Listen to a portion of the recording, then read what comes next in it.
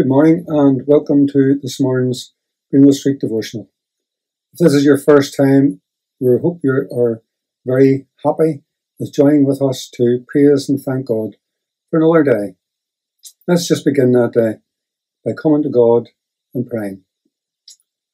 Heavenly Father, we draw aside again into your presence, not through worth, but through Calvary.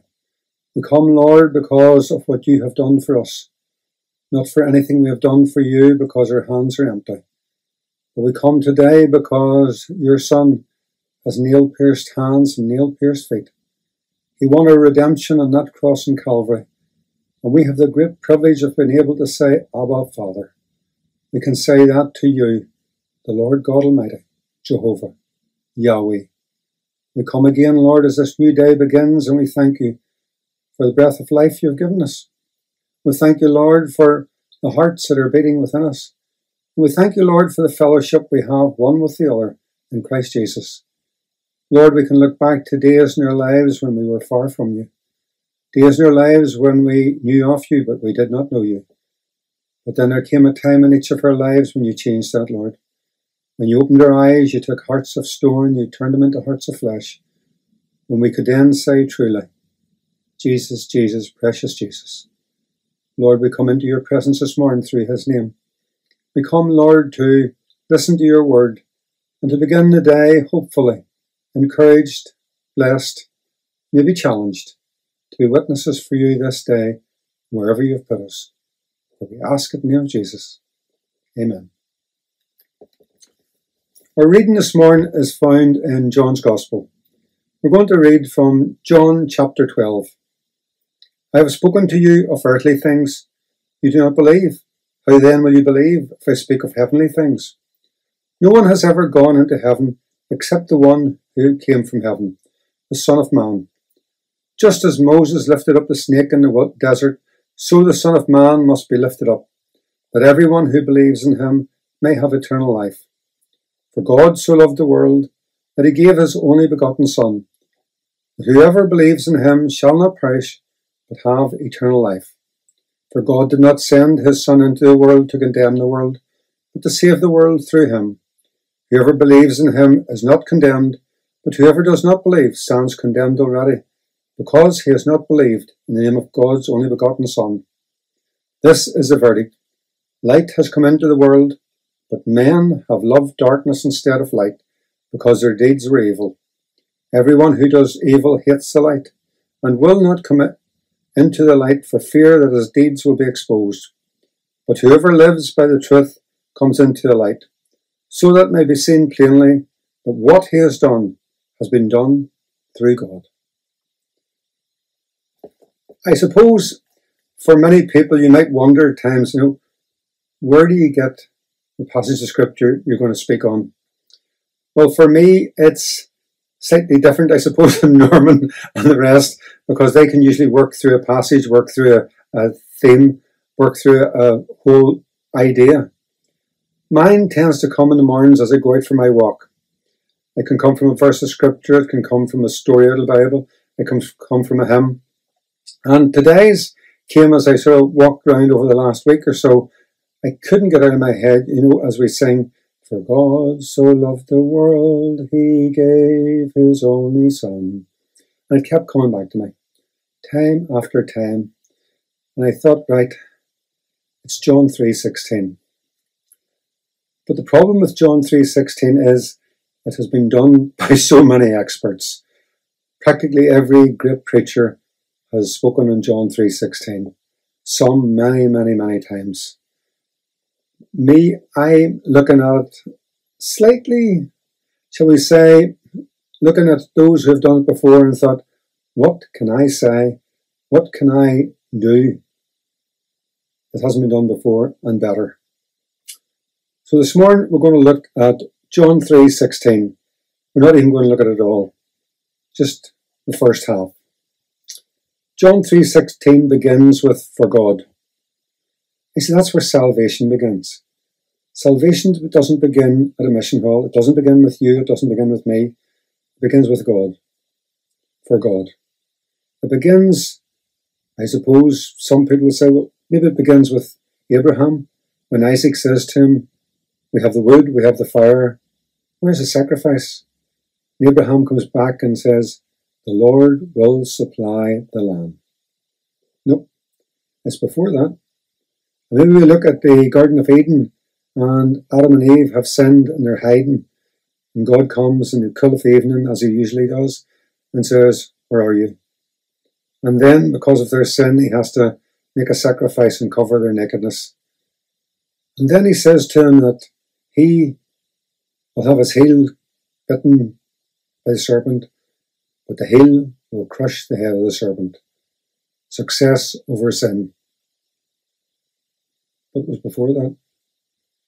It's even before those first verses. In the beginning. Away out in the councils of eternity, long before anything's written, God the Father, God the Son, and God the Holy Spirit I've got this great plan of creation. The plan of creating all things seen and not seen. But they equally know, being God, that man will fail miserably. They will make man perfect. They will make woman perfect. But they give them free will, and that free will would allow them to follow God or to reject God. And they know that many, many, many, in fact, the whole of creation, will reject God but they have a solution.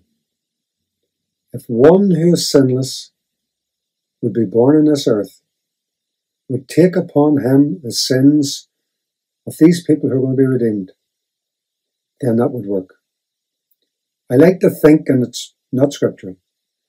You know the words that Isaiah said way over in Isaiah, where he did say, The Lord said, Whom shall I send? Who will go for us? Isaiah said, Here am I, sent me. I can see that happening the first time, not through Isaiah, but in heaven.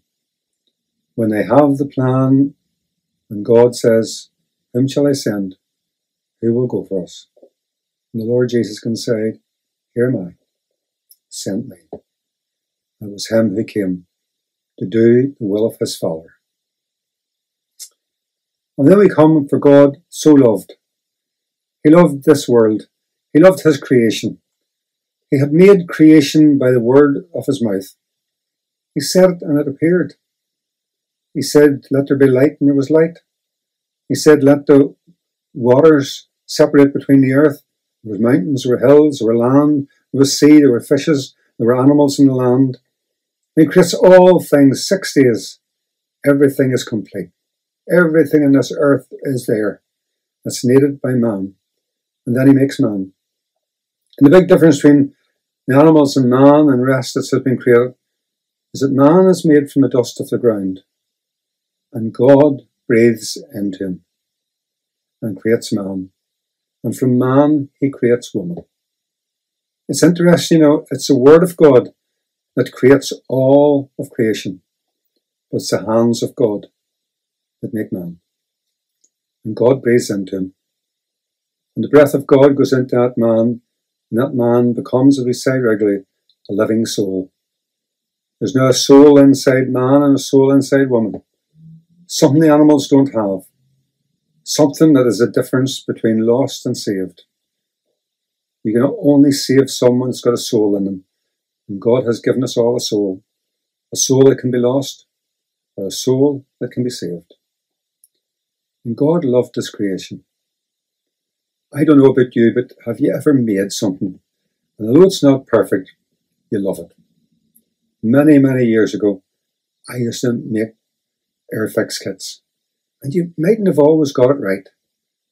But some of those Airfix kits, finished and painted and sitting on a shelf, followed me through 20, 30 years. I could never part with them. They weren't perfect, but I loved them. I think it's a bit like God. God looks at us and we're not perfect. He does love us.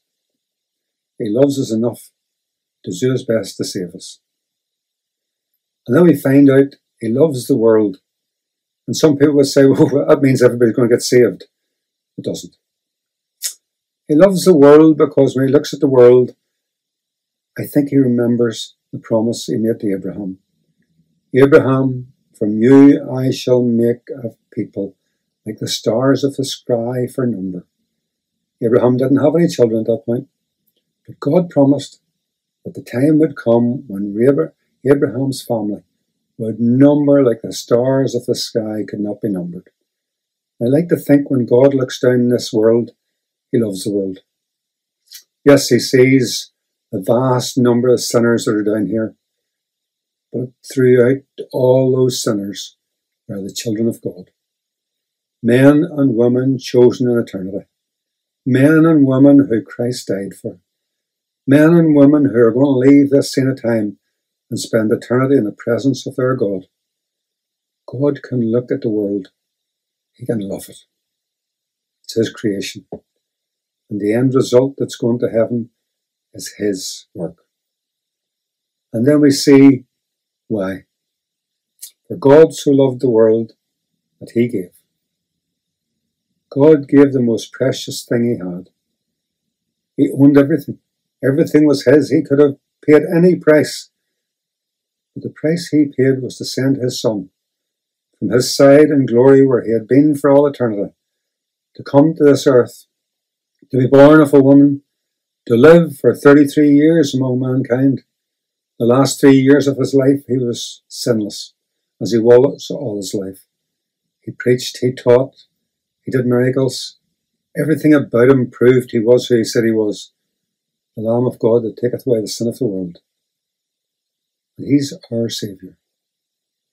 God gave him to us. There was nothing more precious God could give. God gave his son for me and for you. Men, women, young people, boys and girls, if you're listening to this this morning and you know him, you know the Lord Jesus as your Saviour.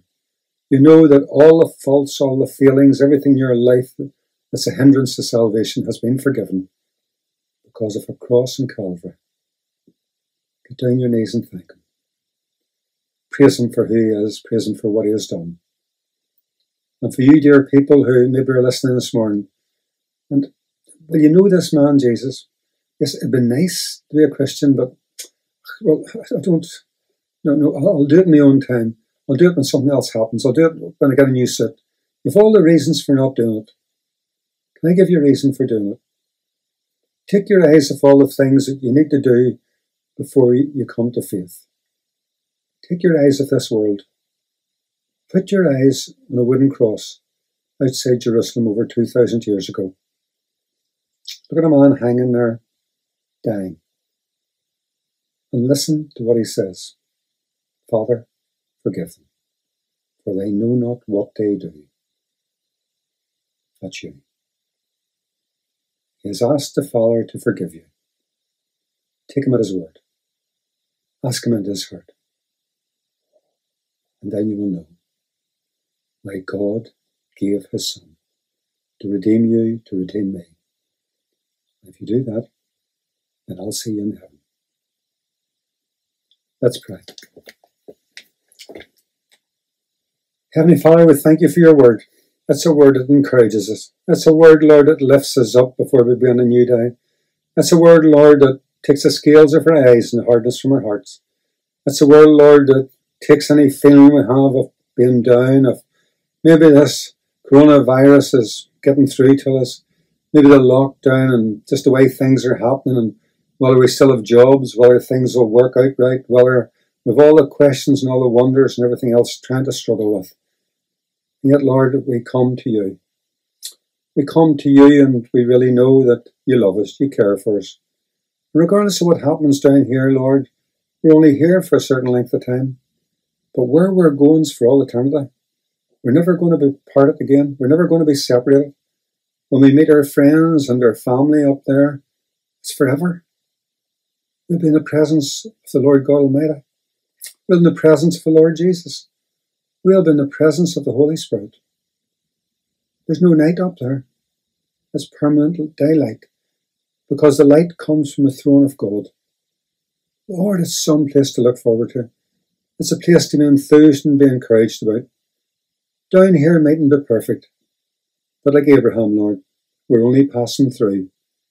Just give us the patience, give us the love for you, give us the fortitude, just to keep going and to be your witnesses. and through your witness that maybe you'll be pleased to bring some others into the kingdom to join with us in glory. For we ask it in the wonderful name of the Lord Jesus Christ. Amen.